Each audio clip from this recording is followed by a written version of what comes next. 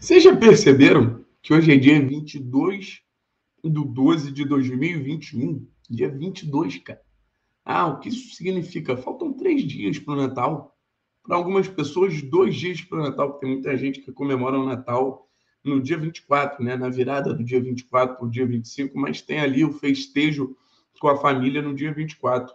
Eu sou um cara que, que não ligo muito para Natal, cara. É, uma, é um momento importante ali religiosamente para a gente agradecer, estar na companhia da família, mas eu não ligo muito para Natal assim, não é uma data que eu, que eu dou muito valor. Sei que, que poderia até dar mais, mas acho que como minha família aqui no Rio é pequena e tal, não tem tantos festejos, né? Porque a galera que tem família grande é, acaba sendo uma data muito animada de familiares se reencontrarem e tudo mais, mas para mim é algo mais de boa, algo mais tranquilo, e algo que eu sempre gostei muito para ganhar presente, né, velho? Porque o Natal tem esse momento também mercantil, tem esse momento comercial, né? A criança, principalmente, olha o Natal como uma oportunidade de, de ganhar aquele brinquedo que ele quer durante o ano, né? Meu pai fazia isso comigo, minha mãe, minha mãe principalmente, minha mãe sempre foi muito generosa comigo, então aquele brinquedo que eu mais pedia, que eu mais queria, chegava no Natal, não posso reclamar absolutamente nada dos meus pais. E vamos falar sobre o Natal, cara. Vamos falar sobre o Atlético, porque o Natal está chegando. Torcedor do Atlético ainda não ganhou nenhum presente de Natal. Eu quero saber de vocês. Deixa aqui nos comentários, depois de se inscrever no canal, dar like nesse vídeo, o que você gostaria de presente de Natal de Mário Celso Petralha. Supondo que Mário Celso Petralha fosse Papai Noel o que você gostaria de presente de Natal? É, sei que muitos aí vão botar Fernandinho, Fernandinho e Marlos, botar uh, jogadores de nome, jogadores com histórico europeu, jogadores de muita grife. Eu zero me encanto com isso, velho. Eu zero me encanto com isso, vou ser bem sincero com vocês. Mas para primeiro entender o presente, eu acho que a gente tem que entender se o garoto Atlético Paranaense se comportou bem ao longo do ano. E foi um ano que a gente começa na temporada passada, é importante a gente lembrar isso. Se eu não me engano, são 11, 11 jogos que a gente joga do Brasileiro 2020 em 2021. E é um momento que o Atlético vai muito bem na temporada, ainda pensando numa vaga para Libertadores, um time que faz um primeiro turno bem abaixo da expectativa. Então, se a gente for falar daquele recorte, foi bem interessante assim o que a gente conseguiu desempenhar naquele momento, sabe? É, e, e, principalmente sair de uma zona de perigo. Então, acho que ali o Atlético se comportou super bem. É, falando de competições separadamente, né? Copa Sul-Americana, grande destaque do ano do Atlético, né? Uma competição que o Atlético foi absoluto do início ao fim. Foram quantas derrotas? A gente perdeu para o Melgar, a gente perdeu para LDU e só, mano. E só, tá ligado? E não teve empate.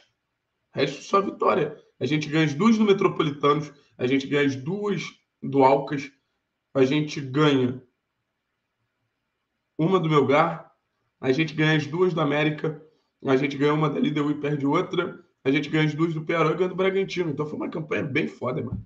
Bem foda, assim. Eu, eu bato muito nessa tecla nas lives, porque eu acho que, que acaba sendo muito necessário a gente enxergar isso. Quão grande foi a campanha de 2021 do título da Sul-Americana para mim, em questão de campanha, foi mais foda que 2018, sabe? Porque 2018 você tem os adversários mais acessíveis. Acho que a competição até tem um formato diferente, o que torna ela mais acessível, né? Nessa temporada de 2021, virou a chavinha, começou fase de grupos na Sul-Americana, os times da Libertadores vieram, sabe? Então, aumentou a dificuldade da competição, aumentou o nível de de competitividade do nível da Sul-Americana, sabe? Então, o Sul-Americano Atlético se comportou show de bola. Na Copa do Brasil, acho que dá para falar que se comportou bem. Para mim, uma campanha até acima da média, mano. Vou ser bem sincero com vocês. Óbvio que eu fiquei frustrado com o que aconteceu na final. Esperava que a gente fosse derrotado pelo Galo? Esperava. Mas, vamos ser sinceros, foi, foi a mais. Foi superior do que qualquer um poderia imaginar. Assim. É, o Atlético faz uma campanha bem legal. Faz uma campanha de Havaí Atlético Goianiense, que são adversários mais acessíveis. Show de bola. São adversários mais acessíveis.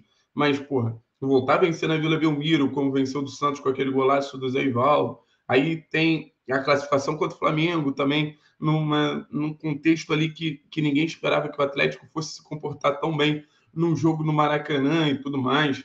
Então, mais uma campanha que, que acho que a gente pode exaltar. O Atlético chegou invicto até a final, perdeu os dois jogos da final, uma derrota bem, bem significativa no Mineirão. Aí tiveram as competições que a gente não foi tão bem, né? que foi o Campeonato Brasileiro. É, obviamente, a gente não conseguiu manter um nível de, de concentração, de foco no Brasileirão ao longo das 38 rodadas. A gente teve um recorte inicial muito positivo, com o time jogando muito bem, aquela fase ali do Antônio falando em atratividade, para mim foi o melhor momento do time na temporada.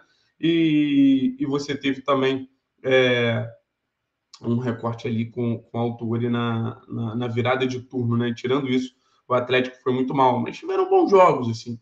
Acho que se a gente falar dos melhores jogos do Atlético na temporada, tem um especial que a gente não pode esquecer de jeito nenhum, que é o jogo contra o Fortaleza. Para mim, talvez a grande partida do Atlético em relação a desempenho, sabe? Mas tiveram grandes jogos contra o Fluminense, contra a Juventude, contra Grêmio, contra, por, sei lá, contra o próprio Bragantino, sabe? É, então, foi um brasileirão ruim, mas teve seus momentos de brilho. E o Campeonato Paranaense, esse sim, acho que foi a pior das competições, a gente foi bem abaixo.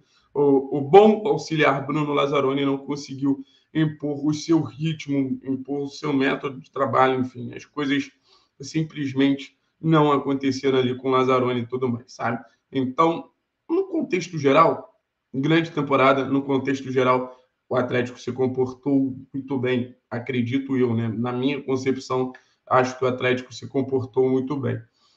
O que o Atlético merece? Ou pelo menos o que eu desejaria para o Atlético? E eu, como eu falei, não tenho ambição de ver grandes nomes, grandes grifes, grandes é, jogadores de, de carreiras muito vitoriosas chegando no Atlético.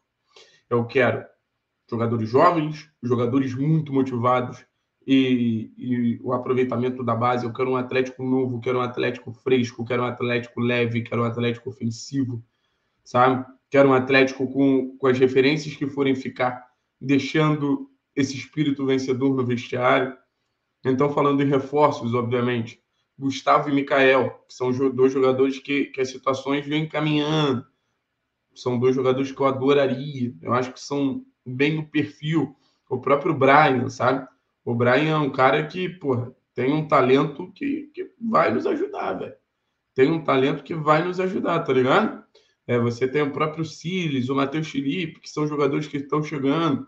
Sei que o torcedor quer aquele reforço, que é o Fernandinho, que é o Marlos, mas isso não me faz brilhar os olhos, cara. O Atlético não é competitivo a partir da grife. Deixa isso para Flamengo, deixa isso para Atlético Mineiro, deixa isso para Palmeiras. Então, se o Gustavo chegar, se o Mikael chegar, se o Garcia chegar, a gente pode falar de dois, três nomes, o nome do Borreiro que pintou aí, mas tem suas dificuldades a negociação. Eu acho que é um nome foda, sabe? Ver também o mercado sul-americano. Existem bons nomes no futebol colombiano, existem bons nomes no futebol uruguaio, que a gente pode pescar e, e, e ir reforçando esse time, que tem uma boa estrutura, sabe? A gente vai falar de Santos, a gente vai falar de Thiago Helena, a gente vai falar de Pedro Henrique, de Marcinho, de Abner, de Citadini, de Eric, de Terãs, de Pedro Rocha, de Bissoli, de Kaiser, de Babi, de Christian, sabe? A gente está falando de um, de um elenco legal, de Jader, de Fasson, de Zé Ivaldo, de Pedrinho, de Nicolas, de Bento. É um elenco legal. Óbvio, precisa ali dos seus seis, sete reforços. Alguns reforços podem até mesmo estar no clube, e eu desejo do fundo do coração, meu Papai Noel, que a gente olhe mais para a base, que a gente consiga aproveitar mais o elenco que já está ali, sabe? Falando de um Jajá, de um Reinaldo, de um Daniel Cruz. Pegar essas peças, potencializar elas suficientemente para elas darem uma resposta na equipe principal, por que não? Sabe? E óbvio, um, um trabalho do Valentim, do Autor e do Lazzaroni que ofereça mais criatividade, que ofereça mais é, repertório, sabe? Que ataque com mais fluidez, que fique com a bola de maneira mais leve. O jogo do Atlético precisa ter mais essa, essa leveza, sabe? É que nem massa de pão. Quando a massa do pão tá pronta, é quando você gruda na mão, e ela vai escorrendo aos poucos, é algo fluido, sabe? Então, é o que eu quero para o Atlético, velho. Time jovem, time competitivo, um time que vai brigar em todas as competições, porque eu não consigo exigir título, mano. Eu acho que, que título não se exige, tá ligado? O que dá para exigir é competitividade em todos os aspectos. E acho que reforçando esse grupo que já existe, trazendo competitividade, trazendo jogadores certos, trazendo juventude, velho, tem tudo para dar certo. Beleza? Então, Papai Noel, espero que você me escute. Esperando você, Gustavinho. Esperando você para ser uma, um destaque dessa companhia aí. Imagina, Gustavo Jader, Jajá, Reinaldo, porra, Mikael, Bissoli, caralho, é muito jovem bom junto, mano. É isso que eu quero do Atlético, um elenco jovem, um elenco que permita também grandes vendas para essa roda gerar, de, de poder contratar mais jogadores, sabe? Esquece isso de Fernandinho, esquece isso de Marlos. Vamos postar no elenco mais fresco. Mentira, não vou ser hipócrita, não. Óbvio que eu queria o Fernandinho Marlos, mas eu entendo a realidade do clube, né? Quando você pedia lá seu presente de Natal, você tinha que entender a realidade de papai e mamãe. Lembra sempre disso. Então, não vamos extrapolar que, que, que apesar do Atlético ter 14, não, não é né, para gastar tudo em reforço. Beleza? Tamo junto a nós, rapaziada. Uma ótima quarta-feira para todos. E vambora!